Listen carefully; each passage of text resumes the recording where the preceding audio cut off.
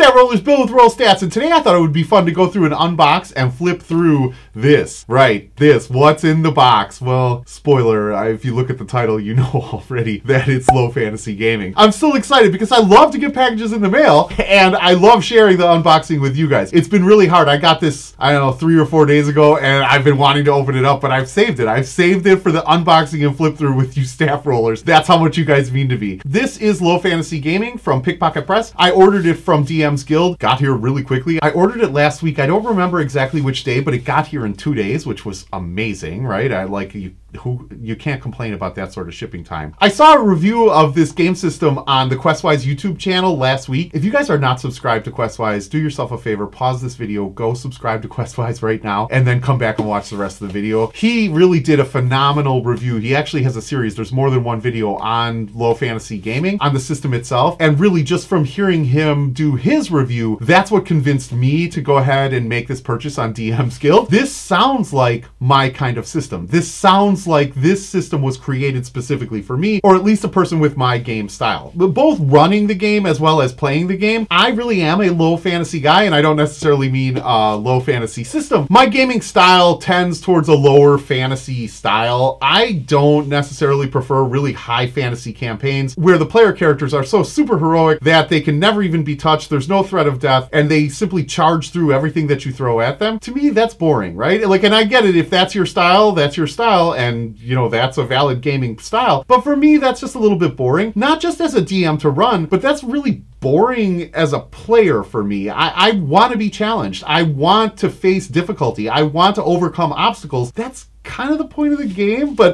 anyway, low fantasy gaming sounds like it appeals to that style. It sounds like it appeals to that sort of player. It sounds like that it appeals to that sort of DM. It promises, at least based on the Questwise review and what they say about it on their website, it promises to be the perfect system for me. So I really can't wait to get into it. By the way, I did order this from DM's Guild. I'll leave a link down below in the description. If you're looking to purchase it, you can click the link down below. Full disclosure though, I am a DM's Guild affiliate. Uh, if you do purchase Low Fantasy Gaming or actually anything from DM's Guild through the link down below, I will get a small store credit at no additional cost to you though. No, absolutely no additional cost, but I will get a small store credit that I'll really use to buy more items to review on this channel. More items like you see back there on my shelves and more items like this. So I just wanted to let you know that. But anyway, after watching the review from Questwise, I knew I had to have this book on my shelf, right? It legitimately promises the exact game that I'm looking for. The exact game that I prefer. So again, Low Fantasy Gaming is published by Pickpocket Press, and it's a tabletop RPG that's built for gritty adventures with low to moderate magic settings. That's that's my game, right? Like that's my style. That is truly the game that I want to play in. That's the game that I enjoy. I enjoy that gritty struggle for survival. I enjoy overcoming almost insurmountable odds and huge obstacles. Again, both both as a DM and as a player. I truly prefer that style of play. To me, it's just more exciting, it's more fun, it's just more rewarding for me. And, and, and honestly, I think it's more rewarding for my players as well, but you know, that's that's on them. I think the very act of survival should be a reward in and of itself. It makes the players feel like they've accomplished something as opposed to just having something handed to them. And it sounds like the low fantasy gaming system is going to fit that style perfectly. So honestly, I, I, I can't wait to open it up. The folks over at Pick Pickpocket Press promised that it has simple rules, dangerous combat, and flexible PC customizations. Honestly, they had me at simple rules and dangerous combat. That's me. That's my style. That like uh, you you had me at that. Everything else to me is just gravy, right? So again, they're saying that the system is designed for short episodic adventures in a sandbox. Again, sounds just like Elden Well. It is perfect, perfect for me. And they're saying that all of the tables and mechanics that you would need to run that style of play is included in the game system for easy DM improvisation. Again, totally my style. This sounds like my game. This sounds like it was made for me. The folks at Pickpocket Press said, hey, we should really design a game for Bill over at Roll Stats. I like, he just seems like a great guy. Let's design a game just for him. That's what this sounds like to me. So uh, what I will say is, okay, I don't know that it delivers on that promise, right? I haven't even opened the package, let alone read the book yet. So this is not a full review of low fantasy gaming. At this point, this is really just an unboxing and a flip through. I'll give you my general impressions of the book itself, the artwork included, and, and you know some of the major mechanics. But once I have a chance to read the actual book, once I've gone through the system a couple times, I'll upload a full review of Low Fantasy Gaming and give you my true thoughts on it. And whether the folks at Pickpocket Press did deliver on their promises, what do I think of the game itself? How is it to play through? How is it to run? I'll give you a full review. Again, for today though, this is just an unboxing and a flip through. But honestly, it delivers on half of what it promises. It sounds like the system for me. So actually, if you have this system, if you have Low Fantasy Gaming, if you've played it, if you've run through it either as a DM or as a player, hit me up in the comments down below and let me know what you think. What do you think of Low Fantasy Gaming? Does it deliver on what it promises? Is it as good as I think it's going to be? Really, hit me up in the comments down below and let me know. And subscribe to the channel. Become a stat roller. It's a great community. You know, my favorite part of this community is the comments down below. I love to hear your opinion. I love to go back and forth about different D&D theory and discussion. And I, the comments are the best part of this community. So subscribe, become a stat roller, like this video, share it with your friends, share it with your gaming group, do all of those YouTube things, right? Like, let's really grow the stat roller community. I need you guys to help me. So please subscribe, like, share, do all the YouTube things. But enough shameless self-promotion. Let's bust this box open. Finally, I'm dying to get into this. And let's flip through it and see what we think. Okay, you guys, let's crack this open.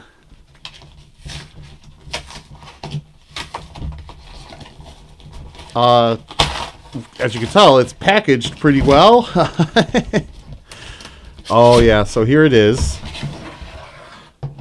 So I ordered the Low Fantasy Gaming Deluxe Edition, which is a hard copy and full color. I think it'll last. I think it's put together really well. This is one of the better print-on-demand books that uh, I've received through DriveThruRPG. Although to be honest, all of the print-on-demand stuff that I've ordered through DriveThruRPG is pretty good. Like I was saying, it is Pickpocket Press. Author is Stephen J. Grodzicki. I hope I'm pronouncing that correctly. Stephen J. Grodzicki and Pickpocket Press 2019. So we have the table of contents really breaking down what's in the book. It looks like starts with what is low fantasy gaming, creating a character, the different attributes, the races, the classes, unique features, skills, party bonds, equipment, doing things, combat, some injuries and healing, magic, advancement, Game Master Tools, which is always appreciated, uh, uh, goes through exploration, hirelings, madness, mass battle, monsters, morale, and NPC reactions. I love to see a morale mechanic. I, I really think that the morale mechanic is phenomenal. Rival adventures,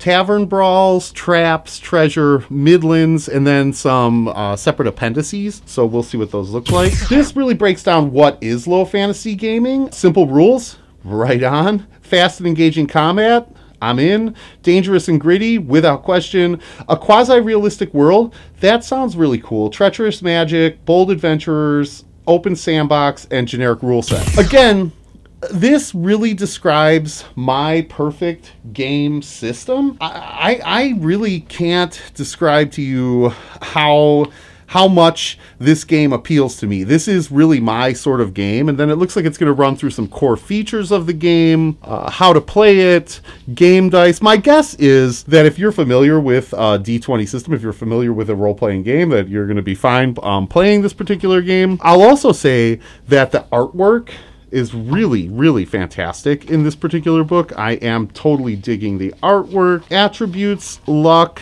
and luck checks. It runs through the different classes. So from my understanding, there's nine classes within the low fantasy gaming system. Uh, Artificer, Barbarian, Bard, Cultist, Fighter, Monk, Ranger, Rogue, and Magic User. And really only two of those involve magic, which is great for me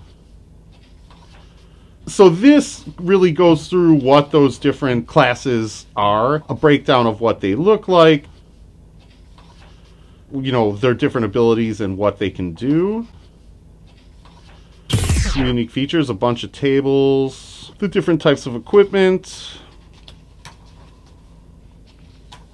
melee weapons, armor, how to do things, injuries and healing, more tables. You know, I'm a sucker for a book of tables. Like, this is just phenomenal to me. The diff the spell list, the spell descriptions, I gotta say, I am impressed with the artwork and the layout of this book. Here's what I will say. For a system that claims to be rules light, it is a pretty thick book. I guess what I'm saying is it's thicker than I thought it was going to be, but it looks like it's packed with really useful information that is going to be helpful to both players as well as DMs. There are a ton of tables in this book. I love to see that. I love tables. I love random tables specifically that you can roll on. To me, that just screams old school, and it's definitely my sort of game. The other cool thing that I really love about this system, or, or at least that appeals to me, is that there's a 12th level max right? Like, what I mean is characters can only achieve 12th level. It eliminates that overpowered spell user, that over- overpowered magic user. It keeps the monsters scary. It keeps the game dangerous. It doesn't become too easy for your characters to just destroy anything that you throw at them. They really have to think and become creative and figure out ways to overcome those specific obstacles. It, it, it, just really works for me. And there are unique features within this system. So what I mean by that is every third level, uh, you get to design your own PC ability. Uh, you know, obviously with your DM's approval, but you get to determine what your character does, what they can achieve. And if you don't want to make your own, there's 36 examples included in the book that you can either choose from, or you can roll randomly, which is really, really, really cool. This really allows you to own your character and be unique. You, you, the player, get to decide exactly what defines your character as opposed to allowing your particular class or race define your character. I, I just think that's a really cool concept. I can't wait to see how that works in actual playthrough. And then there's a skills section. The skills section provides access to a level based reroll pool, which I think is a really cool concept because it smooths out the fickleness of D20 uh, probability distribution. I think this is a great concept, and I can't wait to see how this plays out in the game. Willpower and perception attributes really sort of replace uh, wisdom, and then diminishing luck attributes replace saving throws and powers. Another cool concept are party retreat and chase rules, which really allow the DM to kind of throw whatever makes sense at the party. Instead of worrying about balanced encounters, you really get to throw whatever you'd like at the, the party, uh, which just makes more sense, right? Like, the world is not balanced, the world is not fair, encounters shouldn't be balanced. There's also a mechanic in here that allows five minute short rests, which allow the PCs to attempt willpower checks to recover hit points and class abilities. You know, that encourages the party to push on rather than camp, right? So everyone is always pushing to take a long rest, take a long rest, take a long rest. This really negates that, and it's in the best interest of the party to continue moving on. Here's the thing though, right? Like long rest rests take 1d6 days. Or, well, it could take 1d4 in a safe environment, but generally, a long rest takes 1d6 days. That's much more realistic, that's grittier, that offers more of a challenge to your players than simply taking a 8-hour rest and regaining all of your abilities and all of your hit points. That doesn't make sense. As I was saying earlier, the tables, this book is jam-packed with DM tables, right? So, tables that you can either choose from or randomly roll from. We're talking about tables for weather, tables for exploration events, tables for random encounters, tables for traps, tables for treasure, tables for disease and madness, tables for tavern brawls, which is really cool, tables for hirelings, tables for mass battle, tables for naval combat, tables for NPC quirks if you want to make your, if you want to add a little something something to your NPCs, tables for rival adventurers, tables for black powder, and more. This book is legitimately jam packed with tables that you can use, and I love to see that because honestly, half half the fun is in the random rolling on these particular tables. It just makes the game more fun for you as the DM to run and more fun for the players to go through. Plus, over 130 monsters, right? Including effective boss monster options. Your player characters are not going to be bored by the encounters that they come across or the monsters that they encounter. Uh, uh, to me, this is what really makes this book stand out. This is phenomenal. It also includes uh, character sheets, so illustrated color and black and white character sheets, but also there's form fillable PDF character sheets that are available on DriveThruRPG. I'll put a link to those in the description as well. You know, form fillable character sheets are actually pretty cool. It makes life easier. It, it, it saves on printing costs and saves the planet. So I'm all I'm always down for a game that offers form fillable character sheets. And I think the best part about this system, right? What I love about this system so much and what drew me in is obviously that it's gritty, obviously that it's low fantasy, obviously that it's low magic. But the best part of this system for me is is that the rules are essentially guidelines. And that's really how I play my game. That's how I play all of my games. That's how I play 5e. The rules are guidelines. They're not written in stone. So I guess what I'm saying is rulings over rules, rulings over rules always. So if there's a particular rule in this system that you don't like, remove it. You're not only encouraged to remove it, you're told to remove it. This is a rulings over rules book, and, and I love those types of systems. I, to me, that's the kind of game that I prefer. That's the game that I like to run. That's the game that I like to play in. That's just D&D to me, right? Like that is RPGing to me. These books, these books that we collect, these systems that we play in, these games that we love, every game, every system should you should feel free as a dungeon master to make it your own and as a player you should welcome the customization factor you should welcome the fact that your dm is is adjusting this game for your playstyle for his playstyle everyone at the table matters and if a rule doesn't make sense then don't use it. It's just that simple. Okay, guys, so that was the unboxing and flip through of Low Fantasy Gaming from Pickpocket Press. I don't know what you guys thought, but I really am impressed with not only the quality of this book, but the contents of this book. Again, I haven't read it yet.